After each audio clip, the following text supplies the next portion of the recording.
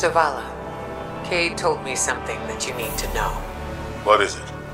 He doesn't intend to return as Hunter Vanguard. He thinks Crow deserves the job. Indeed. Crow is more than ready. And he's a different person now. Perhaps we all are.